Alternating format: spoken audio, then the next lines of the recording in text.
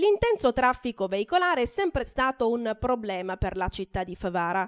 Il locale corpo di polizia municipale ha più volte lamentato carenze d'organico, pochi agenti per un territorio così vasto. La conseguenza è il frequente imbattersi in lunghi incolonnamenti dovuti spesso alla sosta selvaggia da parte degli automobilisti.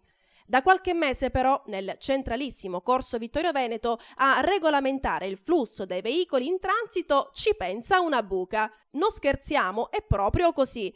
Una profonda buca stradale che ci è stata segnalata da cittadini come pericolosa, ma che per noi, ironicamente, promuoviamo al grado di agente scelto e vi spieghiamo il perché. Ci troviamo nei pressi del succursale ufficio postale di Favara. In zona sono presenti anche diverse attività commerciali ed una farmacia, quindi una zona dove è facile che si creino ingorghi al traffico. La profonda buca, che è realmente pericolosa, costringe i mezzi in transito a fermarsi e invadere la carreggiata opposta per superare l'ostacolo. Insomma, una vera e propria direzione del traffico con tanto di precedenze e stop.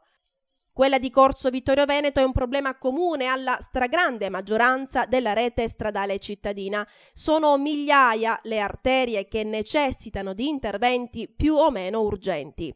Alla nostra redazione sono state segnalate anche altre due pericoli presenti in altrettante strade che potrebbero sembrare secondarie, ma che per la loro posizione sono abbastanza frequentate.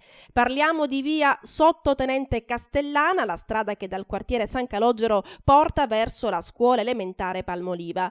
Questo problema era già stato segnalato dagli abitanti di Vicolo 8 Marzo, ma ad oggi dal comune nessun intervento.